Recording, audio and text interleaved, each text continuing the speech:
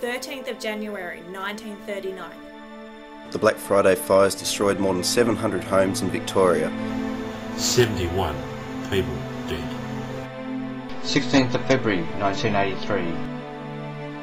Ash Wednesday fires destroy about 2,500 buildings in South Australia and Victoria. Killing a total of 75 people. 7th of February 2009, Australians faced a tragedy known as the Victorian bushfires.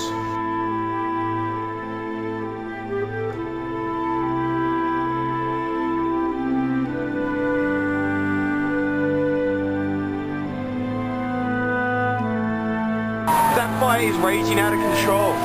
Oh my god, look down that side, they're here. They are everywhere. This is not, that house is gone. That house is gone!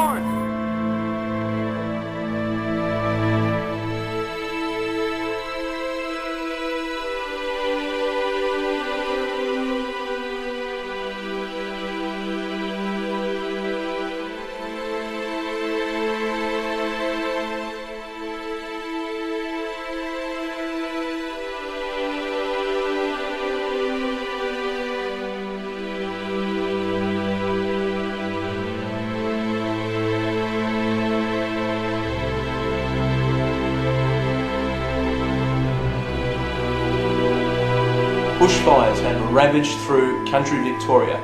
The death toll currently stands at 180 people, with hundreds of people also still missing. The bushfires have left over 5,000 people homeless, and many townships have been all but completely destroyed.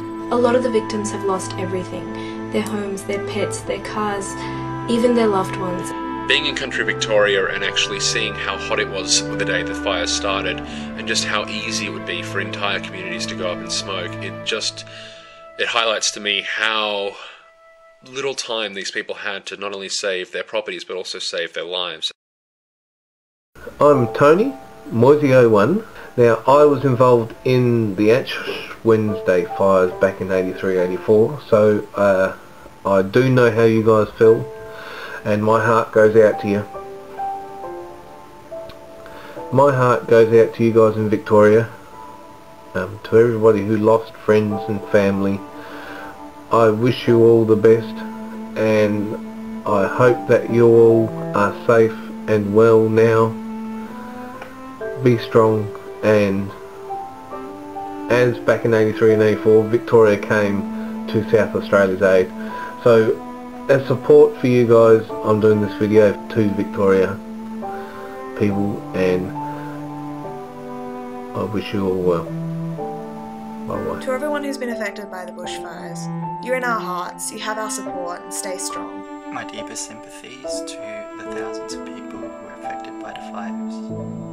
My heart goes out to everyone affected by these bushfires, and I just want to help in any way that I possibly can. While I can't be out there on the front helping to clean up or fight fires, there's things that I can do at home, and there's things that you all can do at home as well. Please, please, please, if you can donate something. Now, I know a lot of you guys out there are struggling yourself, but if you can donate something, I cannot imagine what it would be like to lose my home, let alone lose you know, some of your children or something like that in a fire. Times are tough, but I encourage all partners to donate some of their partnership program money and you to donate some of your pay. Take a collection at work, church, school, however you can help out would be fantastic. I'm raising money for the Victorian bushfires.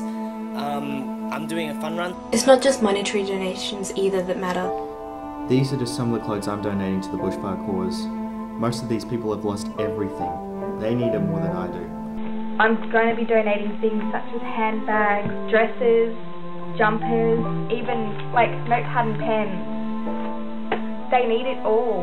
I'm a jewellery designer, as most of you know, so I thought I'd cheer them up and make some bracelets for the mum. Because you know what? I think it'd be nice to have something nice as well as just the necessities, so that's what I'm doing.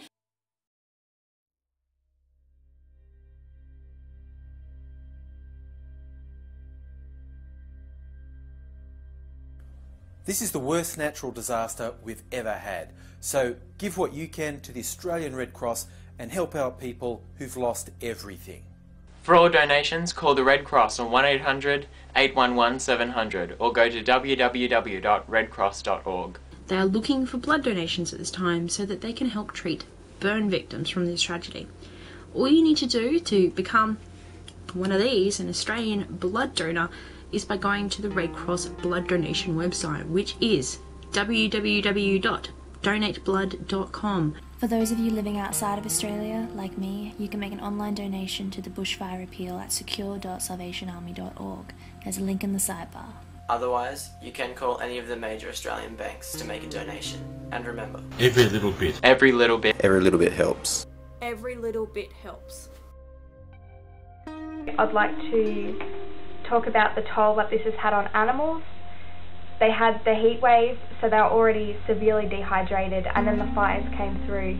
They estimate that millions have been killed, but there is also thousands that are injured and desperately need your help. Every year, devastating natural disasters occur around the world, and we as humans need to learn to appreciate and protect our animals and the environments they live in.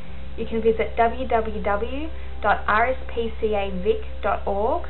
You can follow the links there. You can donate money or you can also donate items. I know they are desperately in need of temporary fencing, green shopping bags. They also need blankets, and if you've ever looked after an animal, you'll know that they go through a lot of blankets and towels